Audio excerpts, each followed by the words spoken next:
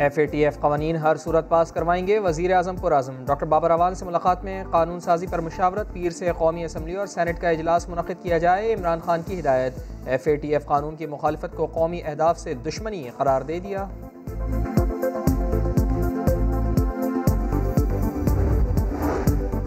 कराची में बारिशों से तबाही। सियासी और अस्करी क़्यादत की तवज्जो शहर कायद पर सिपाही सलार कराची में वज़ीर अजम इमरान खान भी जुमे को आएँगे बड़ा पैकेज साथ लाएँगे।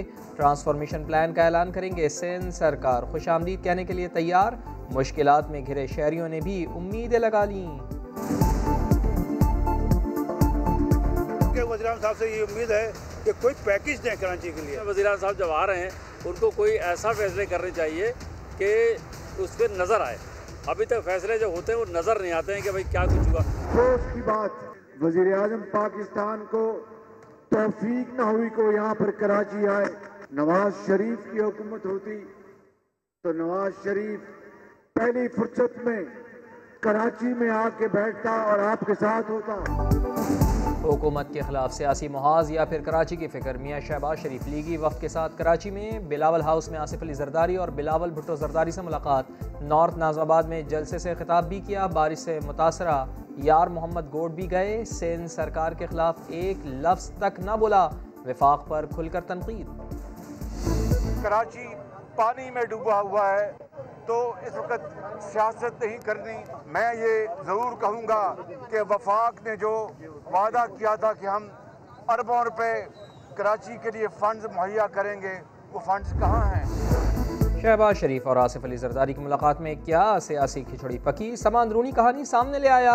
मीसाक जमहूरियत के बाद मीसाख पाकिस्तान माहा होने का इम्कान, रहनुमाओं ने इजलास में कहा, आइंदा इस्टेबलिशमेंट का सिलेक्ट करदा आदमी ना आ पाए।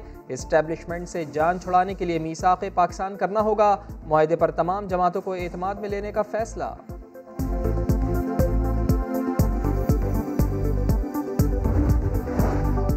कराची में गंदी सियासत करना मुतासरीन के जख्मों पर नमक पाशी है मुआविन खसूसी शहबाज। गिल का नून लीग पर वार कहा, जिन्होंने पैसा निकलवाने के लिए पेट फाड़ना थे, वो आज करप्शन बचाने के लिए बगलगीर हैं। खुरम शेर जमान बोले, शहबाज शरीफ सैलाब और जलजला जदगान के फंड्स खा गए। आसिफ अली जरदारी और शरीफ बरदरान की सियासत अब ख़त्म हो चुकी। आठ साल बाद सानहा बल्दिया फैक्ट्री के मुतासरीन को इंसाफ की उम्मीद। दो सौ साठ अफराद को ज़िंदा जलाने वालों का अंजाम करीब। केस में फरीकैन के दलाइल मुकम्मल। इंसदाद दहशत गर्दी अदालत ने फैसला महफूज कर लिया। सत्रह सितंबर को सुनाया जाएगा। फैक्ट्री मालिकान ने जिम्मेदार। एम क्यू एम को करार दिया था।